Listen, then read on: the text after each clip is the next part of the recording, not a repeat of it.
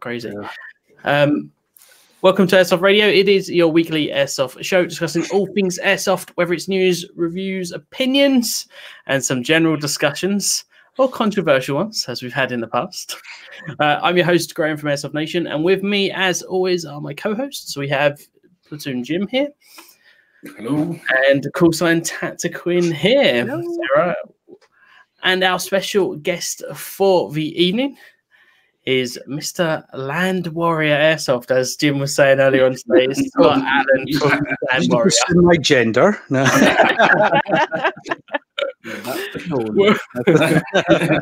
if you're offended. Yes. And that is going to be exactly how the show is going to be tonight. I can tell you already for the next hour. It's going to be plenty of fun. But before that, let's jump into the intro and uh, we'll uh, start with what's happening this week.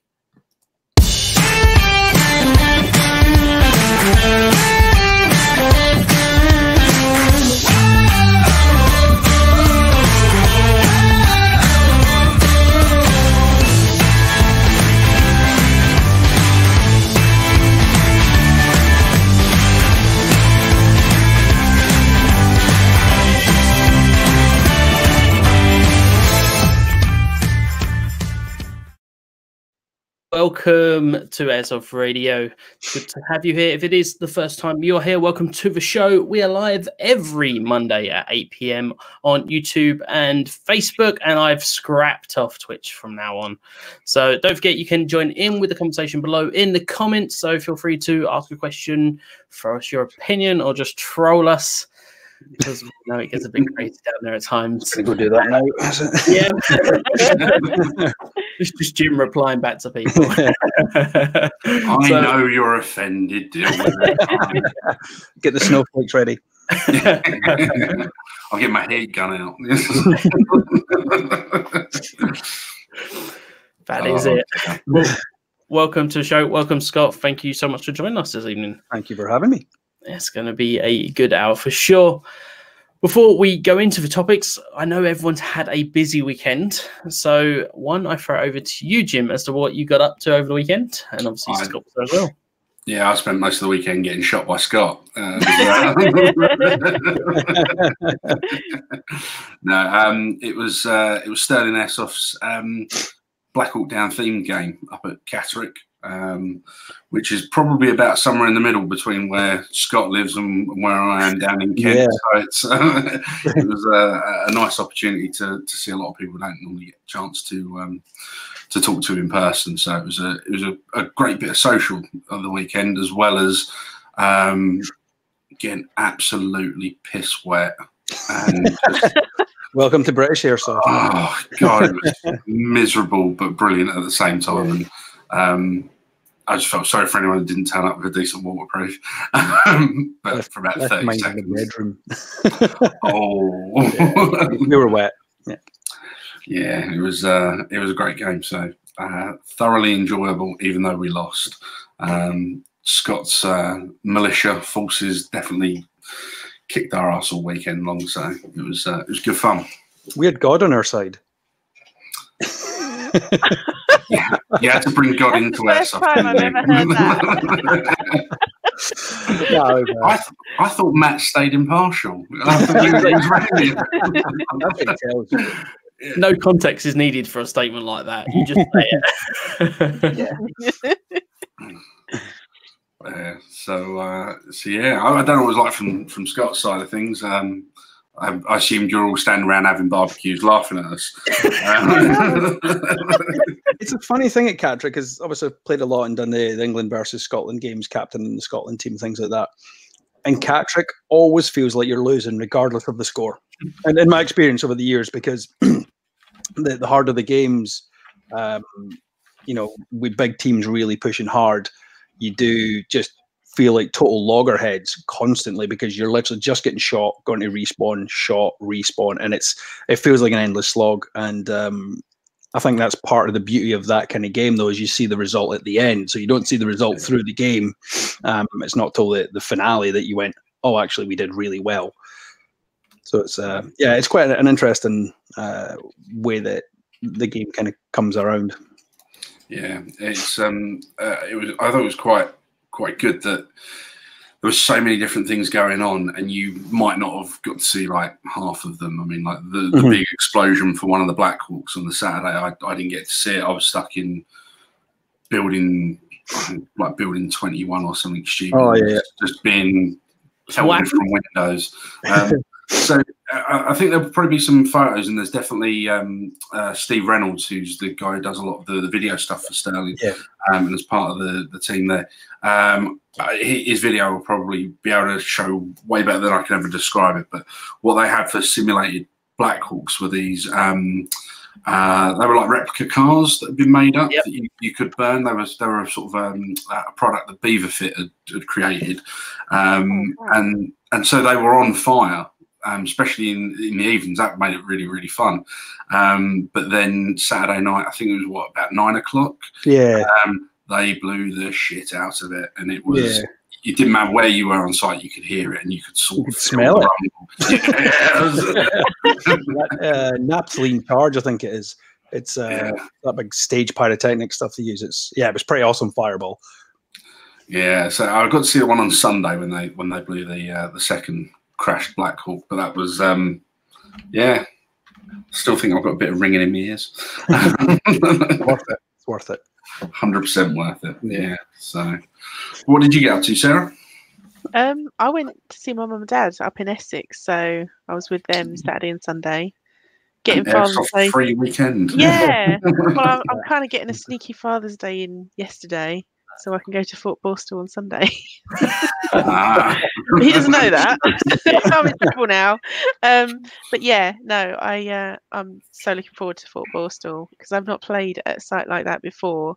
Because I know it was open a few years back, wasn't it? Yeah, as an airsoft yeah. site, and now it's just reopened. So I'm getting properly excited for that because I know it's quite CQB as well with the tunnels and. Yeah. Graham, It's I not. think I think you've played there, haven't you? Yeah, I think I've been there three times already this year. two, or, two or three times already. Yeah. yeah, so it's good then. Yeah, I mean, I'm someone that quite happily plays Woodlands, but not a huge CQB player. But I've had really good fun there. It's a nice site. It's small. Um, it's just a really easy place. There's a lot of kind of going around in circles around the site where you can really catch people off with. Um, brilliant. yeah, it's, it's an interesting small little site. Um, obviously, some bigger than something like AAA, but not a huge site. I mean, so there is some really good conflicts, but it's big enough for snipers as well. So it does provide that little bit of extra gameplay uh, for for the snipers for sure. yeah, Is it a Napoleonic fort or something? Is it or Yeah, it's uh, yeah, it's, it's one of like a series of um, Napoleonic forts that are all around like the Medway Towns area. So, yeah. um, yeah, Fort Amherst, which used to be an airsoft site, and now Fort what was Fort Bor- well, it is Fort Borstal, um, which is run by the Reaper Ops guys, which is uh, a good little Oh, okay. company doing some uh, some nice things there, Alex and Dan. So yeah, it should be a. Unfortunately, I won't be there this weekend. Um, I'll be down at Ace Combat, but some of the other Oh. boys will be there, and hopefully Cool. have a wicked time. So yeah. So- Looking forward to it. Don't have anything like that up here, unfortunately. But you've got your own site, haven't you? You Yeah, can yeah, just, we've got, you just go uh, and play whenever you want. Yeah, but it's kind of a Napoleonic fort. I mean, that- running about the woods is all right, but fort's pretty cool, isn't it? So Definitely. You have Oh, tanks yeah. in your game. Didn't you What's have some sorry? tanks? You didn't you have tanks in some of your games? yeah, we've got uh, two four three twos. Um, well, just, just two armored personnel well, carriers. you, you buy one, and if one breaks down, you need the other one to pull the first one. So that was the logic. It actually worked out really well one time. um, yeah, no, they're they're four three twos. Yeah, every site should have one. yeah, Uh, if I only would every say- site can afford one. Yeah. yeah, I know what sites make. They can afford one. oh, I've, actually. I've got a photo of uh, over here. Let's bring that up. Uh, ba, ba, ba, ba. Let's bring the right banner out. There we go. There go. So that. Oh wow. It was a medic one, as you can see. It's, uh, we tried to paint over it, but it came off again. But, uh, yeah, they're, they're good fun. We use them. Uh, actually, those same charges that the Sterling guys were using. Uh, we'll drive the tank over it. We'll drive, um, do like landmine games and stuff like that. Just using film cans as landmines that you've got to clear when you go. Um, so yeah, keep keep it fairly basic. It's a, a pretty simple uh, skirmish site that we run. Uh, a lot of new players and things like that. So it's not hardcore milsim or anything like that. So we've got every guy, every type of player from you know a bit of a milsim guy to you know, jeans and a hoodie and a pair of trainers. It's really up to them. Is it a bit of a is it a bit of a bundle to try who to see who's going to go go on the tank, or do they take turns? Um, they all used to fight to get into the tank to shoot out the top hatch, and then they only get shot in the face. The, the, the appeal wears off pretty quick. Um, it's generally a mobile objective rather than something to get in or out of. Um, people running in and in or out of a big steel box uh, can be a little bit hazardous. Yeah. Uh, but it's yeah, it's pretty awesome to see. And just for, for anyone that's uh, watching or listening, uh, uh, if they're downloading this podcast later, and um, whereabouts is the site? Uh, well, we're just south of Edinburgh, so we're a little town called Gorebridge, so it's about 10, 12 miles south of Edinburgh, which will mean nothing to you guys probably, but um, say half hour from Edinburgh, 45, 50 minutes ish from Glasgow, maybe which probably still means nothing to you guys. But well, I was going to say that's about seven hours from London, isn't it? Yeah. uh, well, fifty minutes in a plane. In, oh, in, in, in, a previous life, I used to do gaming events and tournaments and stuff, and I actually got a mega bus to Glasgow just for a weekend event, and it took about twenty hours to get there. Yeah. but it did cost less than a tenner, so you couldn't go wrong, really. but you lost like five hundred pounds worth of your life. Uh, yeah. say, it only takes like twenty three hours to fly to Australia, and you spend yeah. more time driving around England. and you got to Glasgow. Yeah, that's perfect. Instead of sunshine, you got stabbed. and, now, and now all the West Coasters hate me. No, it's. Uh, say, is that what the knife rule is on site? You know, you stab anyone you want. It's... No, it's uh, you don't knives, you're allowed bottles. No, it's. was why Buckfast changed their bottles to plastic, wasn't it? Because they kept hitting each other with them. Uh, yeah, no, it's it's funny because uh, Glasgow's got a massive airsoft following, and um, Edinburgh's obviously on the east coast. We've got probably not quite as big as Glasgow as a player base, but it's it's chalk and cheese. It's almost like the uh, Manchester Liverpool thing, you know, not too far apart, but a world apart. Yeah, yeah, but, uh, yeah. The, the, good guys, the Glaswegians, are uh, are all tough players. I'll give them that. Yeah, well, there was a lot there over the weekend, and uh, yeah, they were uh, yeah some some hard as nails guys. So, and uh, and speaking of great guys as well, there's a comment just flashed up on screen from there, yep. from Baz, um, who uh, you know call him Mr. Airsoft Winkle, maybe. Winkle, um, yeah. um, but no, I got to uh, spend a fair bit of the weekend with Baz, and he's, he's a great guy. And those guys travel over here a couple of times a year from from Holland to come and play. I was going to say was the Dutch guys. Yeah, I spoke to a couple of them in the region and stuff when I was in their dead. So uh, yeah, they were nice guys. They've yeah. been there for a long time. A lot of them though. Yeah, and they, I mean they've been mostly sort of coming. They get off at, at, Dover and end up coming to us, and then going there oh, um, to to a Sterling event. Um, and so it's always nice to see them at least sort of like once a year. But um, yeah, those it'd be great to have those guys on on here as well at some point and to let us know how the other half live over there in Holland. So it's. Uh, I quite know. like the the way they did their licensing in Holland. The the car. Well, I was going to say, given what's happening around their licensing right now, um, oh, really? it's definitely um, conversation. Yeah, I mean, um, I'm not been so, keeping up to date with it, to be honest. I'm maybe a little bit behind on that. So, so, the way it works over there is everyone's got to pay 75 euros to have a license. They have yeah. a full blown organization. Um, and right now, going to court is a player who's coming up against the Ministry of Justice, essentially the guys who these guys yeah.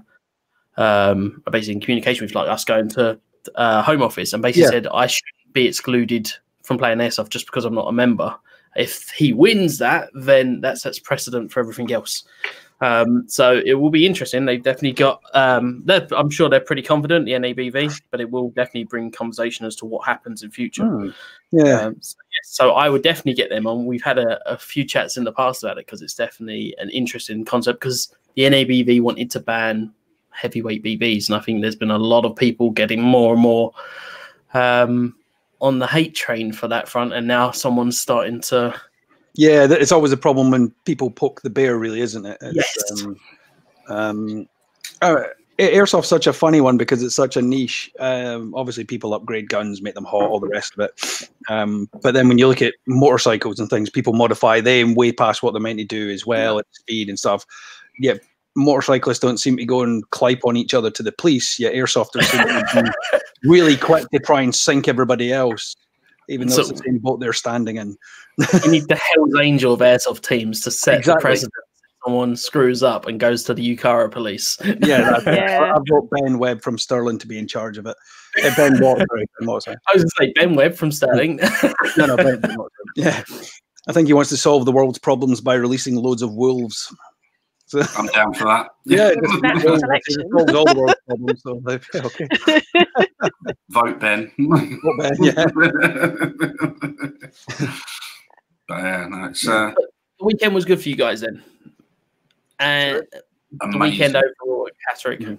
Excellent. Yeah, excellent. But Graham, what what were you up to this weekend? I went to Longmoor for the first ever time, which is crazy since it's not that far away. So another training camp, for this is just for a one day battle sim with Legion Airsoft events. Um, really cool MOD site. Uh, Jim, you must have been there already, right? Yeah, I played there Yep. years ago. Yeah. Scott, have you ever been there? I know it's a bit No, down Not south. Longmoor. I've done Coatpills, the, the only site, the training village I've ever done down that way. yeah, it's quite, it's it's very cool site. It's, to me, it felt very similar to Ripe, but um, yeah, it was a really cool, fun, wet day, really. Uh, but I was just saying to the guys before, is every time it rained, every player just jumped indoors, and we were just fighting out of windows and through doorways, and then the rain would go, and we'd all jump outside. Um, did you so- get to use Lucille though? what's that? Lucille, did you get to use her? Oh, I didn't. so yeah, in the middle of a building, and we'd been literally playing pot shot with a couple of guys in windows. You'd see their scope, and that's it. We'd pop out and start firing at them, um, and it was just you going through mags and mags and mags for like half an hour of rain. And I looked in the corner. It's just a piece of board with what barbed wire wrapped around it. It's like, come on, let's just go at it properly. Things escalate quickly. yeah, in the deep, it was like, come on, I'm fed up with this shit. Yeah. Uh, I did get to use the new King Arms SBR for the first time though, which was quite nice. After uh, popping down to Platoon to buy some magazines on the day before the event, uh, it was a, it's a nice little gun.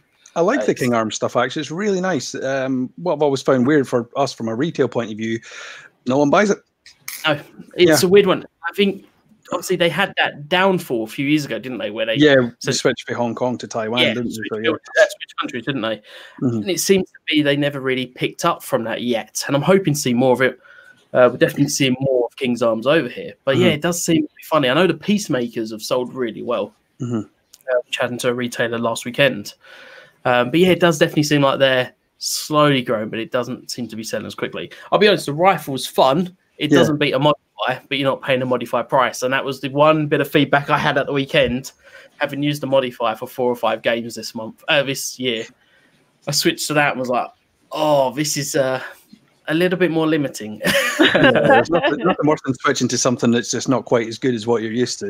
Yeah, it's, I mean, it's half the price. But the funny thing is, I, I, set, I met another Airsoft Nation uh, user out there, and he had his modify on there. He's like, "How are you finding it?" I was like, "Yeah, it's not quite what you're running, but it's a, a fun, fun rifle. I mean, it works well for what it is and for the price range. You're hitting kind of 40 meters, fine, but it's not a 50, 60 meter modify. Yeah. Uh, fun little rifle, and I got to run the Viper VX utility rig, which the is the stuff is really nice. It's really nice. plate carrier. Yeah, the, um, just the, the overall quality just looks amazing. Yeah, they've definitely upped their game in terms of, of what they're producing. it I was is- running one of them at the weekend. It's, it's cracking. Yeah. Yeah, yeah. Yeah. No, no, it's it's, it's uh, cracking kit. It really is. I'm really impressed with this year's lineup. I mean, I've used Viper for years, but this year's stuff is really strong. Um, very close to others, but at the end of the day, it's an airsoft friendly budget. And uh,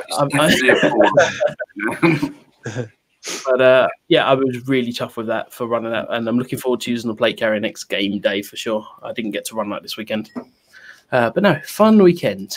so, what was the rifle you were running at the weekend, Scott? you had what looked like a, a an SLR. It was a G3. That was Um, G3, right? Well, I think I it was a was coming out of it. So, yeah. uh, technically, I think a, a CETME which was kind of I think like Spanish built ones or something bizarre like that. They uh, we, we never actually worked out what the, the hell was originally. Um, I think it was at one point a Tokyo Marui G3 that someone put a metal body on, which I Oh. think is a Hurricane one, maybe, um, and then a real wood kit on it. But then I got it like eighth hand, and then ripped everything out and rebuilt it from the inside out. So it's it's I don't think there's anything original in it at all now. So it's a It's still got wood furniture. yeah, it's a real wood kit. It's on it, and it's, it's quite beat up and stuff. So it does actually look pretty Gucci. It was uh, it was just bloody heavy and long to be carrying around, trying to run into a building with a broomstick. That's why we don't use these guns anymore.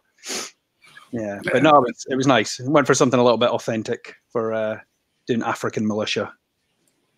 It was very authentic. Although you, you were um, you were limited on, on the number of mags that you had, weren't you? It was uh, Yeah, well, I uh, just used the Marui standard mags, which I think are like 50, 60 rounds, something like that. And because they're obviously 762, they're like carrying videotapes.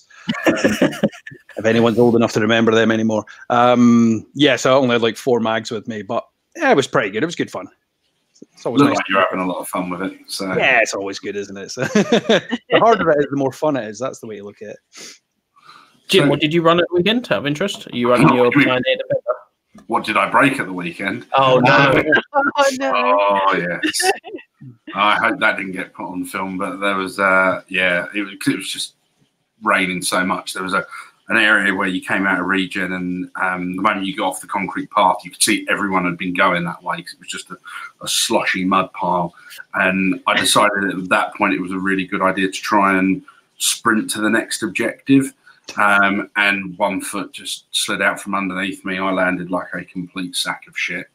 Um, bigger than the sack of shit that people already say. Um, and uh, yeah, when I when I got up, the uh, the barrel stayed perfectly straight. It was just the top of the rail and the bottom of the rail were pointing in different directions. Um, and I managed to completely fuck my ACOG, um, which I've had for like 12 years. Oh. Um, yeah, and, and now I mean it's just literally the, the seal must have gone on it when it when it impacted, and it was completely fogged inside, and Oh. I, I couldn't Oh. see anything, and it was a little bit of my soul died cataract. No. um, but uh, it was weird. I just put a cable tie around um, around the, the upper and the low, uh, the, the top and bottom of the rail. Yeah. Um, still played through the rest of the, the game with it, no dramas. Um, and I had a couple of guys, like one guy jumped on top of a tank and he was trying to shoot some guys that were about sort of 40, 45 meters away. And he, he was trying to do it with a pistol, which was pretty insane. But Was that on the Sunday? yeah, I saw um, him and I was like, what are you doing? so he asked if I could borrow the rifle, or if he could borrow my rifle, and I chucked it up to him. And he got the two guys he was aiming at, and he was like, "This gun's really, really good. I bet it was expensive." And I was like, "No, it was 135 quid." And he was just like, "Fuck off." I was like, no, genuinely, 135 quid gun, and it just like proves something I've always said: is you don't have to spend mega money No, definitely not. a good result, and uh, that same applies to the to the Viper kit we were just talking about. You know, it's um, yeah. It's very much inspired some by some amazing bits of kit that are out there in the, the real still world. Um, but it's at an affordable price, and for airsoft, I think that's that's key. You know, I, Yeah. I don't know what you've been finding, Scott, as a as a retailer. I mean, um, it- you know, it, it, is price the biggest issue, or is it?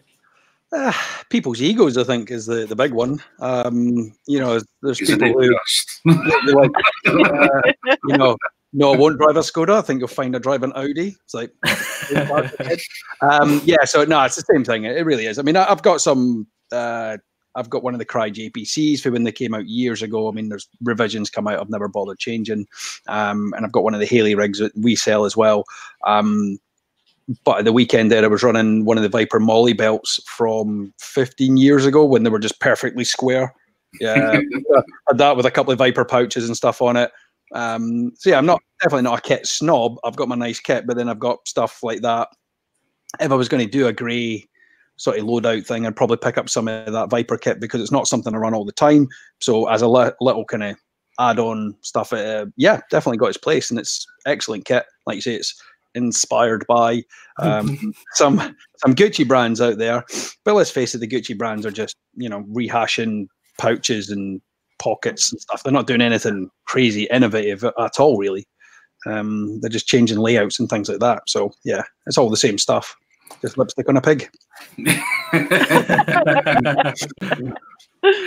Absolutely. I mean, I think there's way too much that goes on where people start arguing about, um, you know, Crye versus you know whatever. And I mean, again, it's, it's whatever you can afford, just go with it. Yeah, you know? if, if you're wearing it every day, if you're wearing it every day, I'm not going to say the Viper's going to hold up for as long as the Crye stuff is. But for Yeah. airsoft, you know, if you're playing once a month, twice a month, it's, it's going to be more than sufficient. I mean, Yeah. you look at the micro rig versus uh, the Viper VX utility rig, you're going to have to go through like five, six of them to even start looking at the same cost. Yeah, Um, but if you're running it every day and you're, you know, you're going on the range with it real still and you've got all the weight and, you know, a lot of that movement, then uh, maybe, yeah, that's when you're going to start seeing the flaws on it.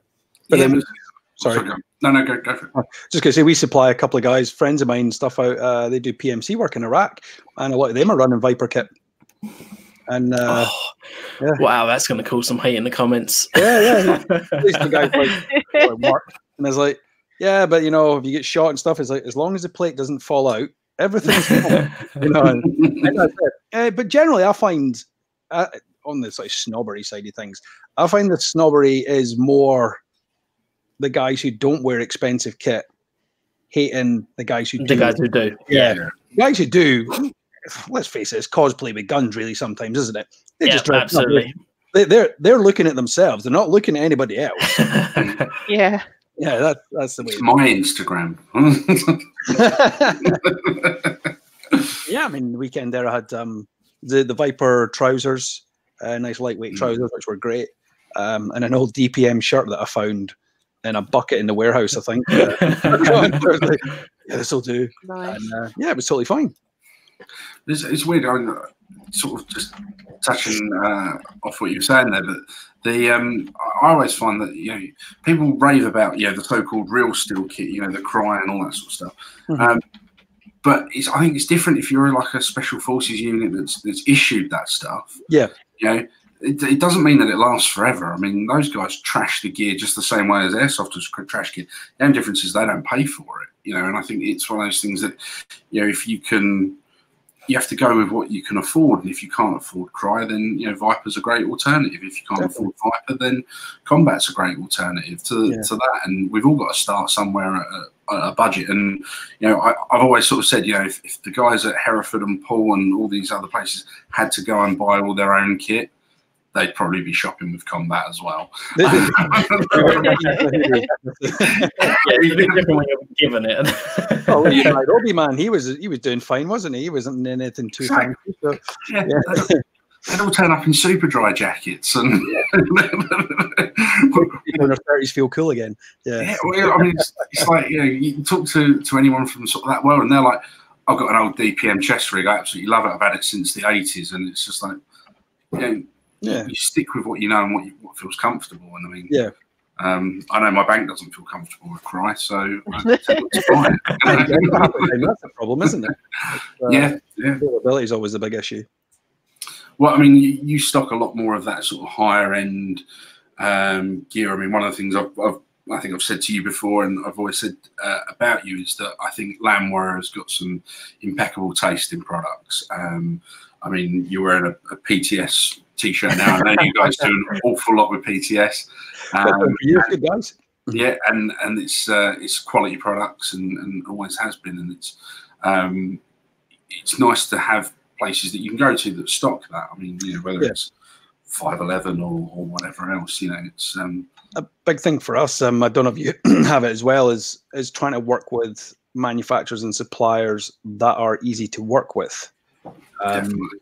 I mean, I'm not getting any major names or anything like that, but we've no, and it's not, and it's basically some of the manufacturers require a lot more uh, time and input and communication to get uh, your goods, your results, and what you need. Whereas companies like PTS, um, Crytek are really good. Um, you know, there's companies like that that the communication you just say, "Yeah, we need this," and you only have to ask once. uh, there's manufacturers out there. We'd place a big order. The shipment would come in, and we go, "Oh, you know, where where is all these things?" And they're like, "Oh yeah, they're coming in the next shipment." And you're like, "Well, you know, we, we've paid for everything. Where is it?" So you're you're constantly chasing and checking, and we've generally just over the years naturally through time steered away from uh, companies that are difficult to deal with and stick with ones that are easy to deal with um, to some extent.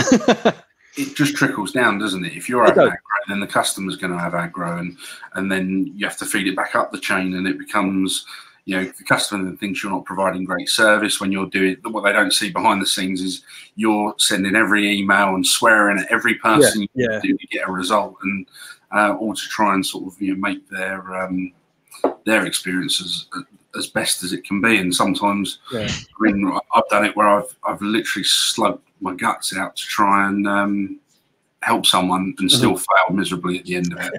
well, for example, uh, big company we deal with, um, one of the biggest in the world, they uh, we had a customer email us saying, "Oh, can you get us this part for this gun?" Um, so we forward the email on to them, going, "We need this part." Customers also contacted the manufacturer this email goes to the head guy pretty much there, who then forwards the email to us saying, Can you provide him with this part? I send the email back to him saying, I've already asked you for this part. and they don't reply. And that's and that's English speaking. That's not that, there's no language barrier. Just, I'm just not going to reply. It's like stuff they don't make anymore. And they even just said, No, sorry, we don't make that anymore. But it's just no reply. well, so the customer just thinks we're sitting on our hands, um, and you know we've got a team there dedicated just doing emails pretty much all the time and firing them all back and forward, and it's it is really just an uphill battle most of the time because most of the manufacturers just want to box shift. They want a big distributor out there, um, just to you know pump container loads in, and they don't want to see about it or hear about it. They don't care. Generally speaking. Yeah, but you, have got a again. I think goes back to having great taste. That you've got a a bit of a uh, bit of an ace up your sleeve with the fact that you're the only place to uh, to go to for for all the new Umarex stuff. Um, um, we distribute as well. So as soon as it's uh, coming in, uh, basically businesses can buy it um, at the same rate. But what happens? A lot of businesses tend to wait until it's landed. But by then, there's pre-orders and stuff in. Uh, a couple of big places like uh, JD, they buy quite a lot of Umarex um, in big dumps from us. Um, so if we run out, they might still have stuff and things like that. So it's uh, there's always a little bit of bony contention in the UK with people being distributors and retailers and things like that. It's always the the sticking point to say you can't be both. Um, yeah, you could argue that, but as long as it's everybody's treated fairly, and we've we've had it before where um, we were meant to distribute something and we were told we were, and then it swung around and we weren't, And the company that did get it basically used to hold off our our order uh, our orders, um, and that actually happened. and we were told, "Oh no, we don't have this," and it would appear another shop. And like, well, what happened there? Oh no, they're mistaken. You're like, wow. Oh yeah, that actually happens. It's uh, it's business. It's the fun and games of it. People think yeah. Facebook's bad. Just try.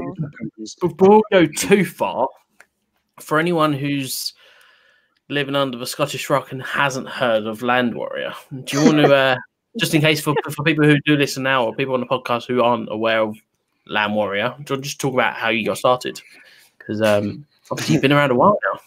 Yeah, it's uh, it was like so many things in life. It was an accident. um, so years ago, started collecting a few replicas, uh, like everybody did uh, before um, the VCRA and everything came in. And I went to Airsoft Scotland, which is now Airsoft World, and uh, Stephen Pringle I was there buying a Thompson. So Stephen Pringle, aka Frenchie, who a lot of people still remember, and dots around the airsoft scene quite a bit. Yeah. He uh, he talked me into coming along to their site, the fort. Um, played once and was instantly hooked, and I played there for years and years and years. And then, um, yeah, that was kind of the, the beginning of it. When I started Land Warrior, um, I, don't come from a wealthy family. If you've seen Train Spot, and that's pretty much where I grew up. you laugh. I imagine every um, and uh, I was working in a call center uh, doing uh, technical support for Samsung mobiles, and I basically had a couple grand. Uh, started the the website, and bought some stock, and then just kind of bought and sold stuff. And within three months, I'd already filled uh, like the spare room at my mum's house because I was living in a flat at the time, and I was like, right, I need a property, so I got a cheap uh, industrial unit. Place was an absolute death trap. It was awesome, and uh, the, the, ceiling actually nearly caved in under the weight of the snow one time. We had to put up acrow prop. It was terrifying. Um, so uh, yeah, we started that, and we were in the, the, the shed. It was uh, affectionately known for years and years and we just kind of grew organically. You know, we've never done it. Uh, no investors, no big loans, no lottery wins. Um, you know, human trafficking, all the rumors. Um, literally, purely just done it based on service, buying stuff, selling stuff, and finger on the pulse of what people want, or trying our best to do that. And then, and did the site come out of that as well? Was that just like a natural progression into it? Or? Um, we we initially worked with a site um, that was up in Edinburgh and then uh, a local estate were basically looking to offer some more activities, and we got involved working with them. So the, the site came along probably after a few years of having the store. Um, it was tricky doing the site. It was a, a lot of extra work. Um, as anybody who runs a site knows, it's, it's quite a, a drain on resources um, or rack and load. Hello. um, it's quite a drain on resources, uh, and that made it quite quite hard for the staffing and things like that. But it, it's kind of come a long way since then, and you know, twelve years down the line now, I think uh, we've got really good guys. Uh, we've got good helpers, marshals, stuff like that. So we just try and just try and do our best and be approachable, normal people without any weird habits. And Liar, you've all got weird habits. like Mars bar is not a habit; it's a lifestyle. um, my, my, wife, my wife was gutted when uh, I spoke about these Mars bars for eight, for years, and I took her to get her first one when we were up there, and she hated it, and I was like yes, you told me about these. And I was like, I was like, I, I was like all right, I'll have two then. like, what did you think it was going to taste like? Of course, it's disgusting. Yeah, you really drink it when you're pissed. yeah, when you're pissed. But yeah, there's a, there's a number of them up here. I, am not sure how it becomes a delicacy. It's uh, I think it's a lot about society, doesn't it? when did the, the real steel or the firearms side of it come into place? Is that more yeah. new or has that just been something that's grown over time? Um, so I I've shot off and on for years and years. Um, I did the air cadets for a long, long time. That was kind of where a lot of my interest in outdoorsy stuff came. Uh, and I went all the way through and did the range conducting officer courses with them. So it was actually a, uh, taking live fire shooting with the cadets for many years. Um, once I'd finished that and I got into airsoft, obviously I'd already had that background. And uh, a few years ago, had a few manufacturers speaking to us, you know, saying, you should really actually look at doing this because it's not much more work what, than what we're doing already. So yeah, we, we basically started up as a firearms dealership as well. And um, I don't know if you know, we're building our own firing range indoor in store. So I will. I did see it in the paper. yeah, I, I, got, I got a little bit of backlash. yeah, um, yeah, there was a little bit of pushback on that, but to be honest, it was uh, tiny bit of pushback, but a lot of positivity. Uh, and a lot of people actually contacting us even now. It, it, was more of a, a bit of free advertising than a hindrance. Yes, so. I can imagine. Um, uh, obviously, in Scotland, even from an air gun point of view, you have to have a license. Correct. Um, so, how that transition for you in terms of the firearms, in terms of the kind of the community around there that are interested in firearms? I presume you mm-hmm. found it quite quite easy to get to. Yeah, it's not. It's not incredibly difficult. There's what's difficult about firearms legislation in the UK is it's not one single piece of legislation. It's little tack-ons, and even as you say with the airgun license, it's you know you drive an hour down the road, and I could just sell it over the counter. Whereas up here, the license. Um, so it, it's pretty much killed off airgun selling because people used to buy it for plinking, and plinking is now no longer a viable reason for owning an airgun. So you got to be a member of a club, and yeah, there's no airgun clubs because no one's ever set them up because you never needed them. So it's yeah, another dent into or another erosion into the firearms yeah. industry, and it's just a it's a sad state of affairs. But I mean, I I'd be surprised if you didn't get the same problems that, that I get on a daily basis in the shop, where you get someone standing there going, "I've got a firearm certificate. Why can't you sell me an airsoft gun?" Yeah. Yeah. I remember the, the question specifically asked to the Home Office uh, whether they could, and the Home Office came back with, "Well, can you buy a real firearm with your airsoft membership?" Yeah, well, no. Uh, there's, there's interesting pieces of legislation. Um, I don't know how clued up. you- Miniature rifle ranges. You heard of? yeah. Yeah. So legally in the UK, if you have landowner's permission, probably shouldn't broadcast this online. Uh, you have landowner's permission with written permission that says, I give whoever uh, permission to run a miniature rifle range on my land. You can buy a smaller than 0.23 caliber. So technically, you could buy a 5.56 rifle um, with ammunition without any licenses. Miniature rifle ranges. It was meant for all the fairgrounds and things like that originally Mm. a lot of these uh, two-two rimfire ranges that uh, pop up. I think they have them at Northern Shooting Show and stuff like that. They are running as a miniature rifle range. So Yeah. the guys actually running that technically don't even need a firearms license. Yeah, I think that's a, another set of loopholes that they're trying to, to it close. will. and it's, It uh, yeah, it's, uh, it's, it's, it's a shame because I mean, shoot, shooting sports, whether it's firearms or airsoft, I- I don't think they should be being discouraged. They should be being encouraged because, you know, it, I think if you learn the right way and and it demystifies it for people, you know, and it's sort of The issue is we've been demonized. Um, yes, Anyone who shoots is right wing, and left wing at the minute is very vocal and very angry, and they are allowed on social media and everything to basically just hammer away at anybody they perceive as right. um, and you know that that's just the world we live in at the minute. Yeah, it's a, it's a sad state of affairs because safe ownership of, of any anything. I mean, you said about you know motorcycles earlier. I mean, how many more people are killed on motorbikes every year? Yet no one's really interested in going after them. But a, a man with a pointy toy gun is clearly evil and Yeah, must be yeah. stopped. Well, you know, do you know the, the most deaths of uh, any sport in the UK? The most dangerous sport in the UK, more death than anything else. Take a guess. Oh, come on. Is it, It's, Well, I it's know it's not my table Boxing? tennis club. Boxing. walking. More people die walking every year. Oh my god, seriously. Walking is bad for you. Stop it now. Sit down and go live. Get yourself a motorized scooter before it all ends. Don't get me wrong, there are more people walking than probably any other sport, but or I don't know, you can call it sport. Anything you're attracted is not a sport. Um, but yeah, it's uh, yeah. So it's yeah, we're demonized. That's that's the issue. yeah, yeah. It's uh, again sad state of affairs. I guess he's in the uh, in the comments section, but nobody went with walking. Masturbating in public places. No, Is that is that classed as a sport now? Because I thought that was just like a hobby thing, you know. anything anything that's you can make a competition a sport. How quickly can you do it? You, get competitive yoga. I mean, what the fuck? Uh, you know, it's, it's uh, and yeah, that's dangerous. But surely to be dangerous.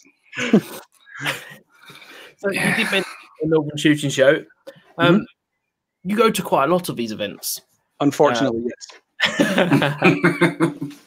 I went to the Northern Shooting Show, and from an airsoft point of view, it was a bit of a, well, it was quite a bit of a letdown, really. Um, what's your take on it? As someone you, you know, you've done the British Shooting Show, you've done the Northern Shooting Show, and I'm sure there's a load more in there. Sort of South Yorkshire, you know. Eh, we've not done that one. We've only done uh, in recent years uh, British Shooting Show and Northern. Only two we have done. Oh, okay. What's your take on them as someone in the airsoft side? Because I think the firearm side would be totally different for you. Yeah. Um, oh, honestly, they're a waste of time. Do you, Don't hold back, Scott. Whatever. A waste of time. Yeah, no, uh, where the issue lies I the people running them want to charge too much money because they think it's like the firearms industry. Yeah. Uh, that's not how it works for airsoft. And then the people who are turning up, the players, they want a bargain. So these things don't they don't meet in the middle. They, they're Yeah. way over. So British Shooting Show costs thousands, thousands and thousands, and in the time we staff it, uh, rooms, everything else, it's crazy. Um, it, I would be better doing a fifty percent off sale online in my store for a week, um, and I'd probably do better. Yeah. So why do it? I won't see you there next year. No, no, no, no, to be honest, we do we do it more as an advertising thing than anything. But as an actual a retail opportunity, they're not they're not great, and that's why you don't see many retailers at them. Do you, do you see in long term? Is there any chance of that growing? Do you see there's a need for it, or do you really think look, it's just two aspects are just not compatible, at least in this respect? The only way it will ever change that I can see is um, airsoft coming more into line with the firearms industry, and if it does that, prices will probably double on just about everything for it to work that way. Yeah, It's the only way the margins would be there to sustain what people need. But then obviously you would have the memory that your 200 quid gun was 200 quid, but why is it now 450? Mm. Well, this is kind of what I said with my Cyma AK 14 years ago was cheaper than it is today, and Yeah. it's like I was like, wow, prices have gone up a bit. Yeah. Um, But yeah, I why? mean, yeah. But why would it be more expensive if it does the same thing? Because what you would need is more steps in place, uh, some more distributors, uh, things like that. So, say Oh. like Nuprol, for instance, they could do a giant stand, but they've already imported everything, so they've got their cut to make, and then Ah, it passes see. So that, this is where it becomes tricky. Airgun margins are, well, you you will know, airgun margins are way better than airsoft, infinitely better. Um, and then you know a lot of the firearms industry, second hand guns and things like that. So there's, it's I think it's the margin in airsoft products that's the issue because a lot of players will buy direct out from Hong Kong. Um, so there's a new release. Uh. a new release out. I can't name names. I probably could, but I'm not. Uh, new release out, new EAG. Great, everybody wants it. Uh, couldn't get spare mags for it from the distributor, but this is buying direct from the distributor. But Red Wolf in Hong Kong are selling the mags for less than I can buy them direct. How does that work? Yeah. Well, I mean, Is there's it a a of- No, no. Oh right. no, it's an AG, but yeah, it's um yeah. So there's there's a variety of issues that uh, across the industry. Um, there's companies like uh, Krytac are actually doing really good at kind of trying to balance it worldwide.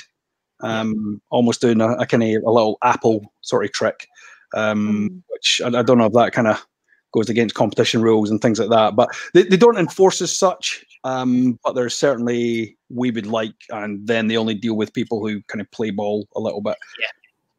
It's a bit Um, easier when you're out of the country. Oh yeah, it doesn't apply them directly then. yeah, But, uh, exactly.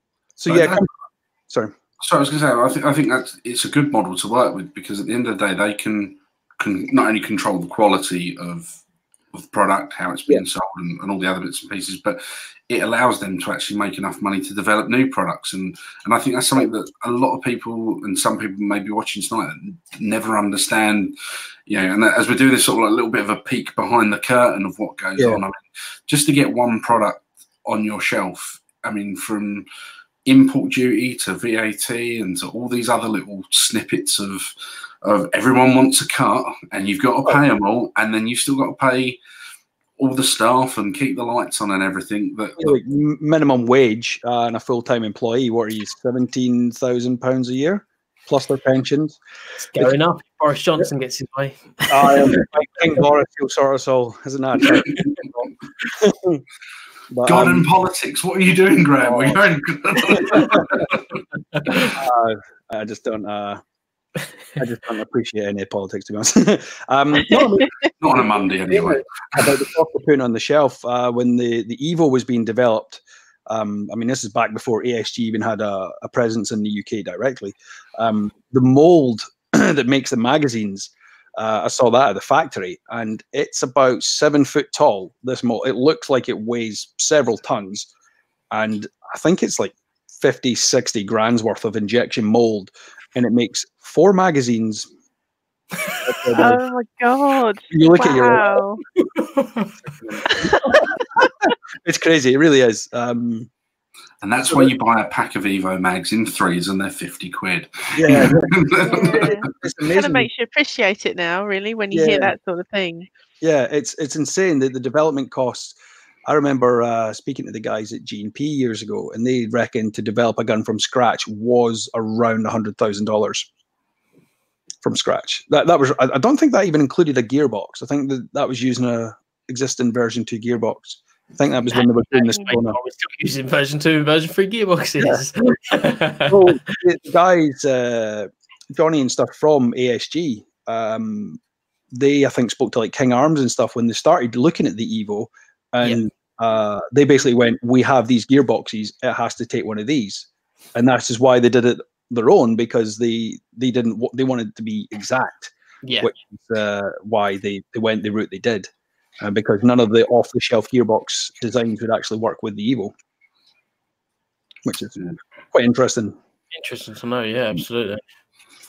and, and Um, all has a massive effect on, on the price you end up paying. It's, Yeah. it's just again, I think Yeah. it's, it's one of those things that you know you're firing a, a less than what 0.0001 of a pence BB Yeah, um, to make, but you have to make however many billions to get it at that price to then put it in a bottle and put it on a shelf and for the retailer to make a couple of quid on it. You know, yeah, yeah, um, but then everyone wants to haggle over the price, and, and I don't know. Going back to the, the shows and everything, I mean, I did one years ago, and we found that it was a waste of time because you then got eight retailers all with the same products, yeah. and all they can do at that point is is go, well, I'll make it five p cheaper, and the guy next door Yeah. says going to do it ten p cheaper, and by the time you get to the guy down the end, that guy goes back to the beginning guy, goes, that guy said he could do it for a pound less. Will you match it? And then you're just Yeah. like, fuck off. Well, we, we did the, the range years ago when they did their, I can't remember Airsoft Arms Fair, I think they called it. Yeah, I remember that. Yeah. yeah, yeah. And I still remember that was um, when Edgar Brothers were distributing the PTS stuff, Yeah. and uh, the margins were tight as, as hell anyway. And this guy came over and he went, "Oh yeah, Dingo Dogs over there will do it for this price." And I, All right. And I picked up all the stuff and he's like, oh, what are you doing? He's like, I'm putting it in the van. He's like, why? He's like, because there's no point in me selling it for less than this. I can take it back and sell it later. And um, anybody buy from Dingo Dogs now? Yeah, unfortunately, that's a Yeah, company and that closed their I've never heard doors. of It's, uh, exactly. And this is the problem. There's there's too many people will cut their own throat uh, Yeah. to get the sale, and uh, you know, literally killing themselves because they're afraid they're going to lose out. And sometimes you are actually better losing out. yeah, Hmm. yeah, and Yeah, it's I uh, th- this is where I see like the Midlands Airsoft Fair, which was just a few weeks ago. is That's Yeah. where that middle ground where there are a few retailers there who are in the geographical location. It makes no sense for anyone in the southeast to go there for Yeah. sure. Not unless you deal with a specific, like Jason was there from Longbow, he's specific on the SRS and the modifier. But unless you've Yeah. got a specific area where you stand out from, but the rest of it is secondhand sales, and that way. Like you say, the players are there straight away haggling, and it didn't matter if it was a stand or a secondhand seller; they were still trying to haggle either way. Yeah, um, Yeah, and I think you're right there. That's the big problem, and it's not really the same in the in the gun industry, especially when we were there. Although it was quite funny watching a few airsoft friends at the Northern Shooting Show trying to haggle straight away at the uh, the gun stands, and they were like they just didn't even entertain it at the start. and I mean, we've, we've, you know, we'll do the oh yeah, we'll chuck in a bottle of DBs or we'll Yeah. in. You do you try and upsell. You don't give let. You you know, exactly. yeah, you try and get rid of more stuff. Uh, so you can do a little bit with that, but it's yeah. I mean, there, there's money in airsoft. There's not no money in it, but you have got to be smart, and you've yeah, you've got to look after yourself and your company because at the end of the day, you know, I've got a lot of staff with mortgages and kids and stuff like that, and that is the number one priority because these guys have got to you know look after their families, so I've got to look after them. So that's that's priority number one um, every time for us as a business. Yeah, and you wouldn't be where you were if you weren't doing that. Because at the end of the day, no one would feel sorry for you if you hadn't made any money. You just wouldn't be here. At the end of the day, Yeah. no one.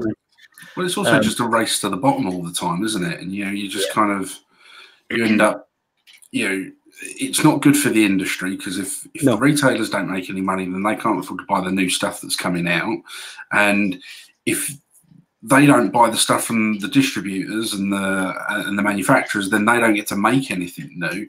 And mm, eventually, we'll get to a point where all right, we're just stuck with, you know, two thousand, you know.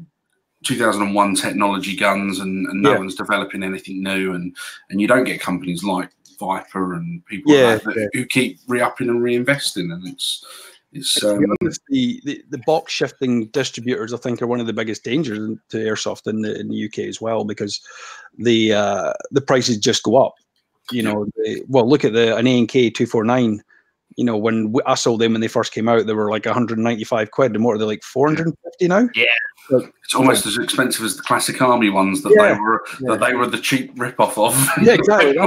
back and, that, and that's the, the problem when you're, you know, you've got these distributors that are not effectively they're not airsoft companies a lot of the time. They're just you know buying in pallet loads and shipping them out to you know whoever opens an account with them sometimes. Um, so it's it is a real balance. And I saw someone saying about cycling there.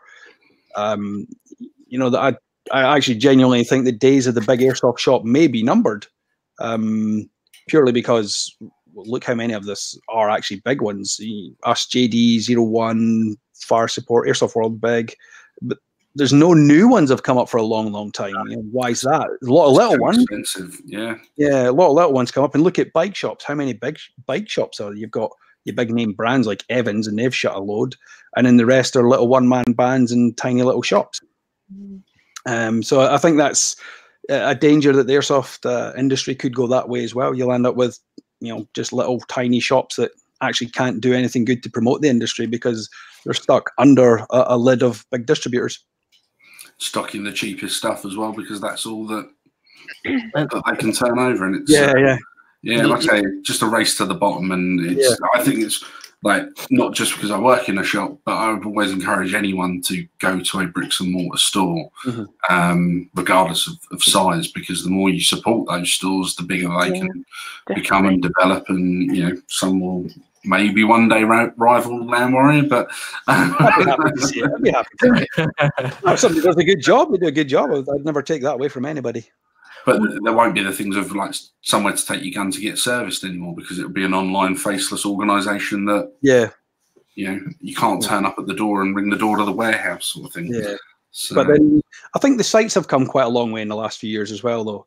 And I think um, what I'd like to see in the next like, five to ten years is a kind of a more professional spin on the sites, almost like what Sterling are doing. But you know, instead of it just a muddy car park with just guys standing around in the morning, then going run around the wood, you know, a more professional. barrier tape, yeah. Yeah, yeah. Be nice to see kind of more big professional fields sort of set up, uh, almost like a mainline business. Um, there's one I don't know if it's in the Canary Islands or something. It's a hangar, hangar 31 or 47 or something, and it's actually pitched more at a kind of fun family day out sort of thing. They've, they've got a YouTube video. It's quite cheesy, but that's actually what's going to bring airsoft into the mainstream accepted. Move it away from the oh, it's guys with guns, and move it more into the oh yeah, that looks actually fun, and you can take your kids along and make it More of accepted.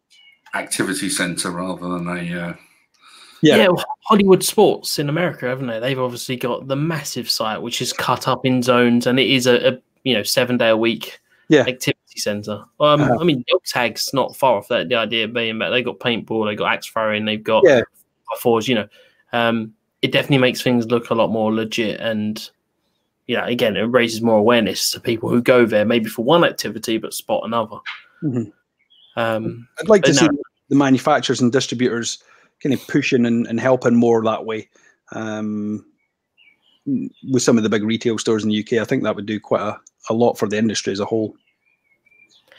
Yeah, it was one of those things I said recently is that we get the most common manufacturers, well, you know, the Valken, the ASG, Hmm. the uh, the Nuprol was going to events, but beyond that, it's pretty empty, isn't it? Yeah, Uh, yeah, It would be good to see some more of that in the UK, and obviously Viper and a few of the clothing line. I should say that before uh, I get that message saying I was at the event you were at. but no, it's it's. it's you mean what? What's to stop someone say like uh, Nuprol running their own big game? Um, I don't know if you remember the British shooting show when the Sterling guys used to run a sort of training event there and things like that. yeah, Yeah. Um, so yeah, there's nothing to kind of stop these companies getting involved that way.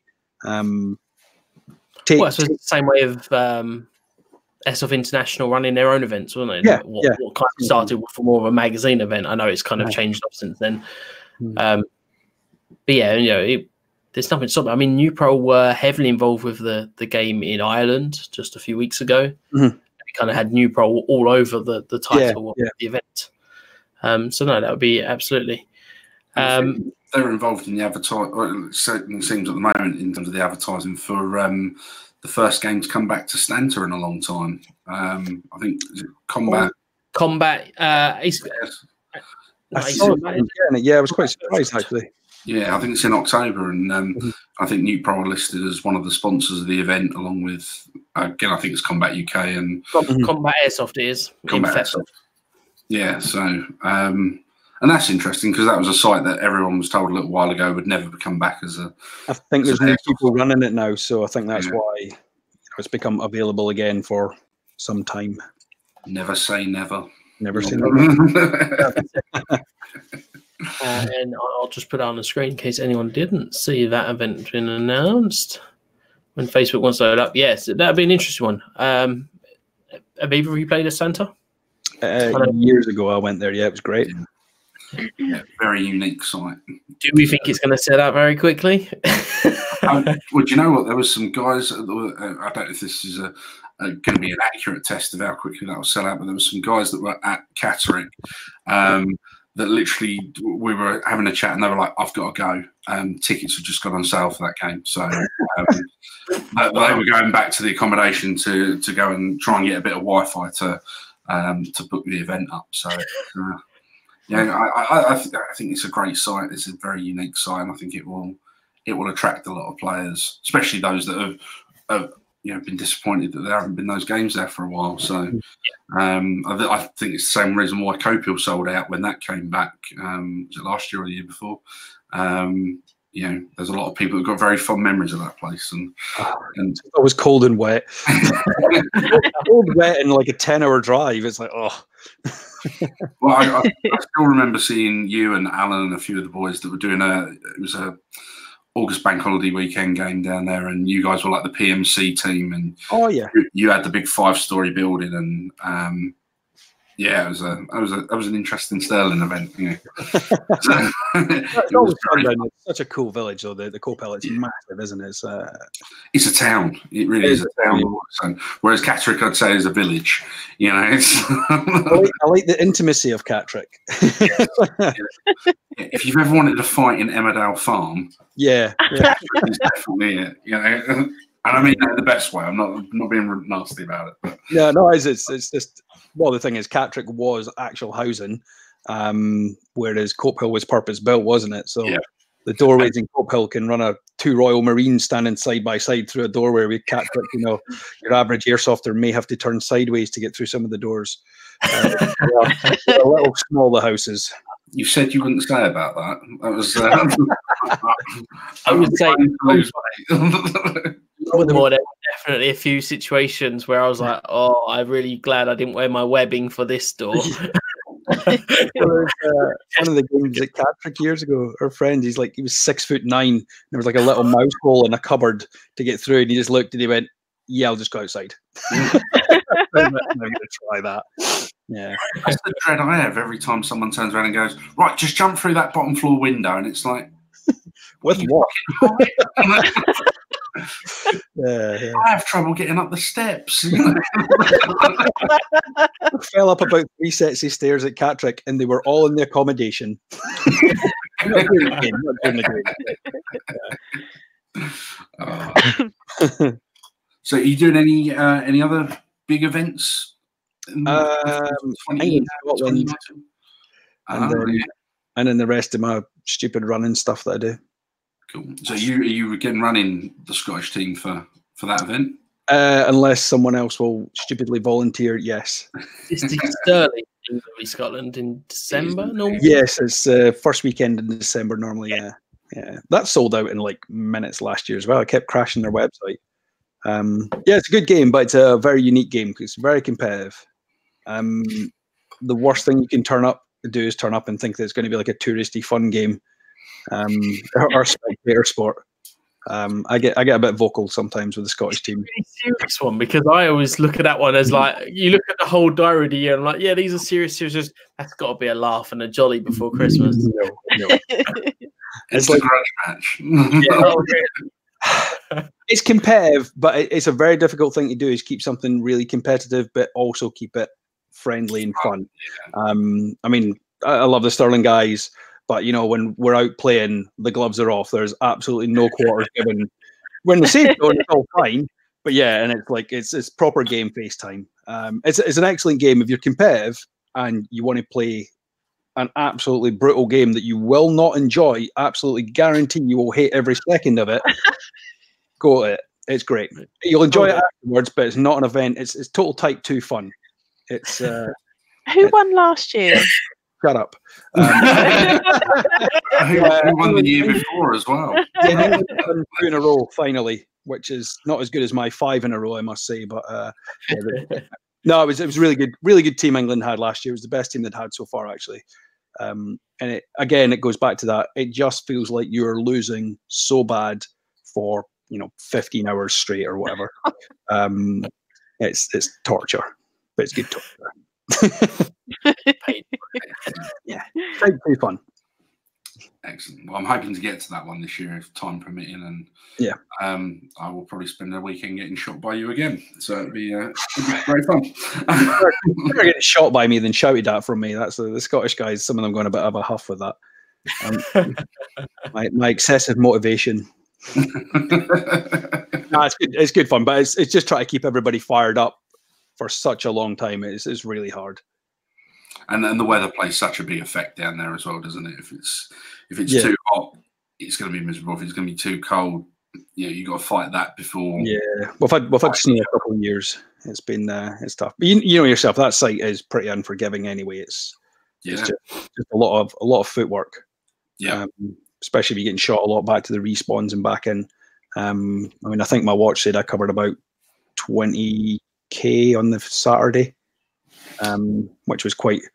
That's me playing quite leisurely down there. But it's in England, Scotland, I think I did. I think I did something like 30 kilometers on the Saturday at England, Scotland, on the on the, that first day. So it's it's a lot of running back and forward. Yeah, it's. Uh, I, I I wouldn't dare measure the amount of steps I've done. It would just fill me with dread and make me want to go and buy a burger. Um, Yeah. But um, but no, I mean, just looking at the time, we're coming to sort of the end of that hour Yeah. that, we, uh, that we promised everyone we'd keep to.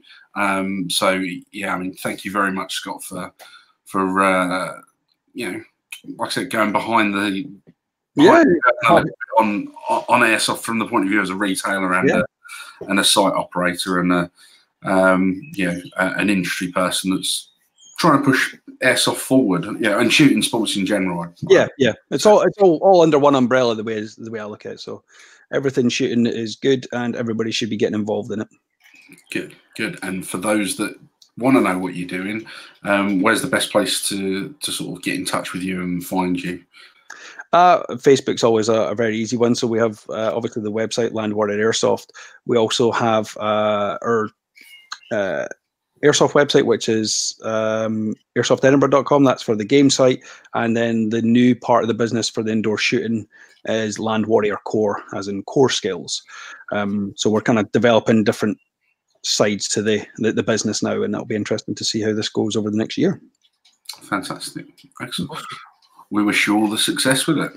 It would be nice to have some success with it. Otherwise, we can be for a very long time. I was told many years ago it's a long road to an overnight success. Yes.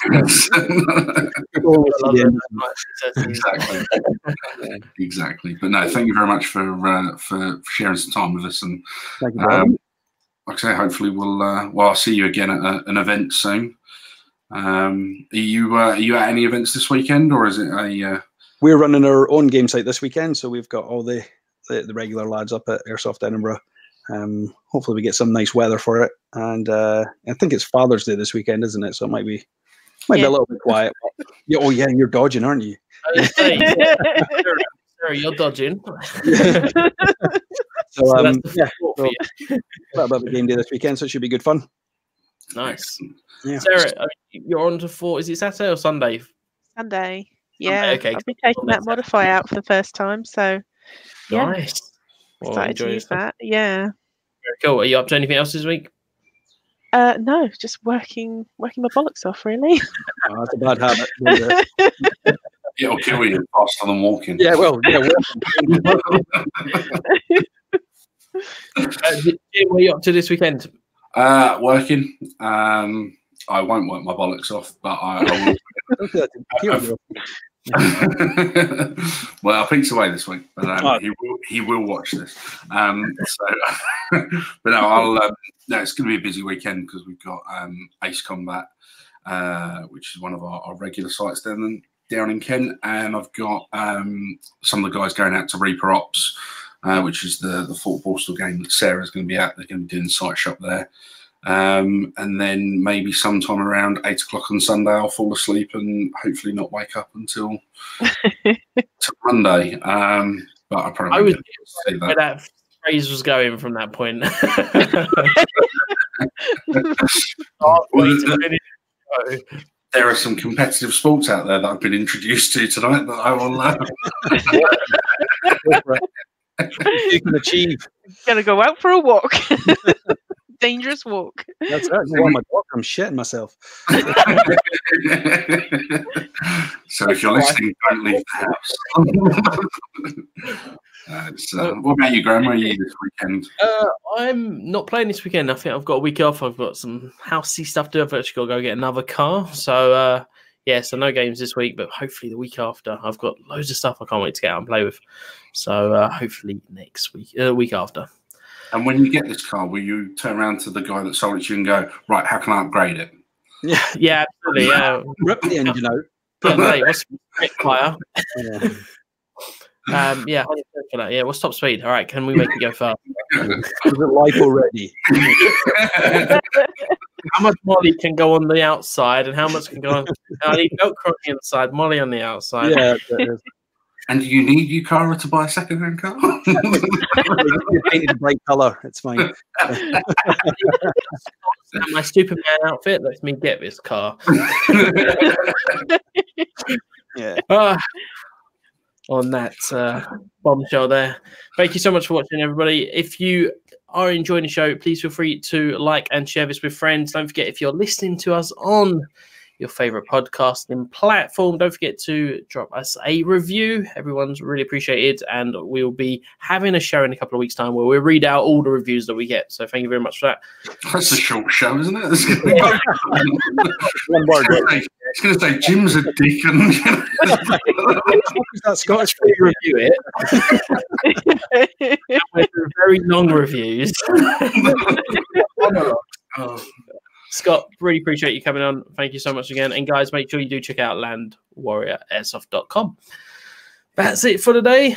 We'll see you next week, Monday, 8 p.m. And I believe our guest is going to be Rev, a Reviation from YouTube if you watch him. So that, that should be happening next Monday. Thanks very much for watching, guys. And we'll see you next week.